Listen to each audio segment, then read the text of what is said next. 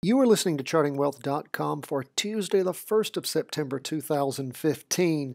We continue to look at this bizarre two day chart. It looks like a very long snake with a head that starts somewhere around the 24th of August. We took all the movement prior, and it has all been wrapped up in this huge down move on the 24th. This is again our two day chart. And then an attempt to recover somewhat over the last uh, three two day charts, so roughly six days. Now we're going into the 1st of September. We're slowly getting our way out of the summertime trading zone. And what do we see happening? Well, we see some of a recovery. Now, if we break down from our two day chart to our four hour chart, we can see more of a pop up in the total market, still almost as high as it was. Let's see. Where this started at the opening was 101.60, and the market today ended at 100. So 100 and well, at the high was one, uh, $100.35. And again, this is a total market. This is IYY. We like to look at everything to begin with, and we can see that yes, there has been some recovery in the total market. Crossed over going up on the 27th, actually the morning, yeah, late in the day on the 27th, and it has continued, it crossed over then and has continued to move up. However, look at what's happening to the four hour chart over the last several days. Looks like it hit that top right around noon on the 27th of August, and it's pretty much stayed there through the 28th, 29th, 30th, 31st, and on into the day as we're leading into Tuesday, the 1st of September. So what's actually going on. In fact, the market itself was down on the day 0.71%. That's the total market. Let's get a little bit more of a feel for exactly what's going on. We're going to look at a smaller portion of the total market.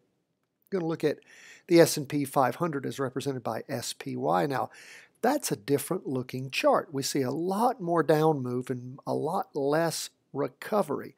We had a crossover going down back on, for all of us who were paying attention, back around the 18th. And we've continued to see down moves. Again, we're looking at the two day chart. That's what I'm explaining right now to those people who only join us by audio. And if we branch out to the four hour chart, we see a crossover going up in the afternoon on the 27th, and the market has pretty much topped out since then. So, what does that mean? Is the market taking a rest and going to shoot back up again? Well, it's got a good bit of movement to catch up with, at least on the SPY. These dojis, we have dojis both during the morning on the 31st and during the morning, the afternoon on the 31st. Dojis mean a lot of indecision.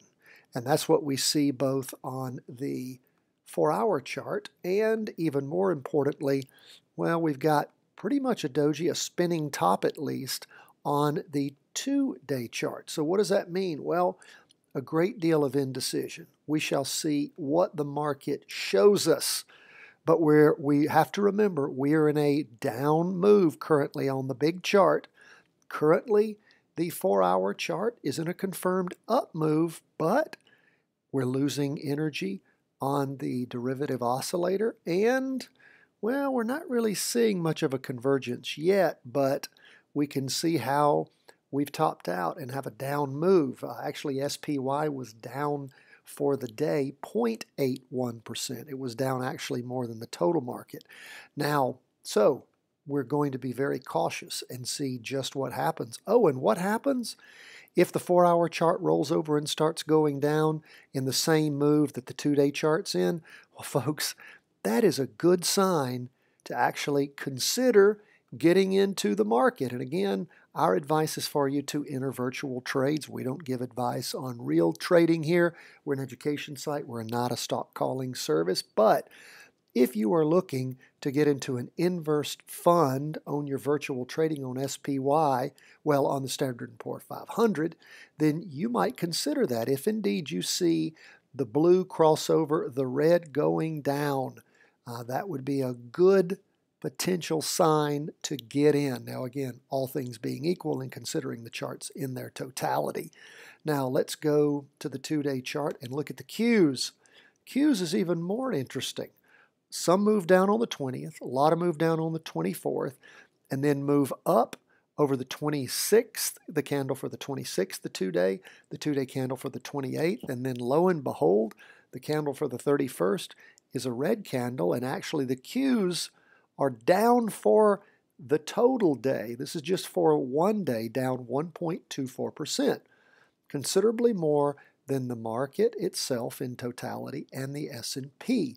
And don't forget, we are still in a confirmed down move on the two-day chart. So if indeed, just like we talked about before, if indeed we see the SPY, and look at that, it's been banging its head since pretty much the 27th it's been banging its head somewhere around 105, 105, 50, 105, 70.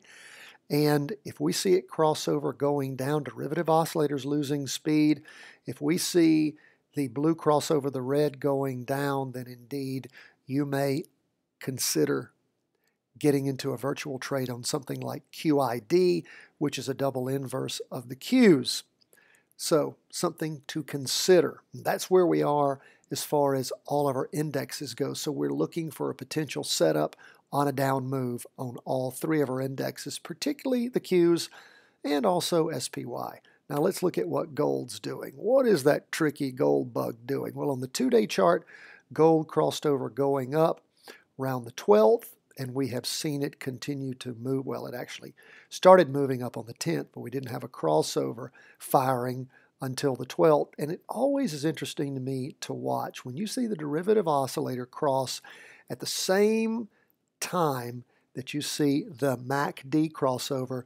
It's typically a good sign. And we've seen that. We drew a nice two day trend line, but look, it was broken on the 26th and started to roll over. But where it has been for the last uh, six candles now, it's been it's not gone any lower than 107, and in fact, it closed up today 0.11%. Let's get a little bit deeper into the weeds by reverting to our four-hour chart. What do we see here? Well, we see the market, uh, as far as gold goes, hitting a bottom around 107 and then bouncing up off that bottom. We do not have a cross yet going up, but it sure looks like it's getting close. The derivative oscillator is losing a lot of its negative energy, and it does appear that the MACD is converging to a crossover with the blue leading the way up. And if that indeed happens, then it will be matching what? It'll be matching the current up move that we're already in on the two day chart. So when you have a roll off. Again, typically what happens with any movement is you have the smaller chart lead the way on any move. And then if the smaller chart rolls over, as we've seen happen here, and what it do, it rolled over going down, even though the big chart's going up. And then if it turns to go back up again, that is where we look to get into our virtual trade on gold. So keep your eyes, keep your ears open. The markets are fascinating every single day, and we hope you see some opportunities in the next few days with the indexes turning over and going down, and consequently gold going up. So continue to pay attention. We appreciate you joining us at chartingwealth.com. If you want to get our daily reviews, of course, our weekly reviews always every Monday morning, you can go and sign up for our newsletter at chartingwealth.com. You can also follow us on Facebook and Twitter. We love to hear from you. Don't forget also to tune into our Instagram. Sign up for all of them. We love to hear from you. God bless. Wish you the best in your investing from chartingwealth.com.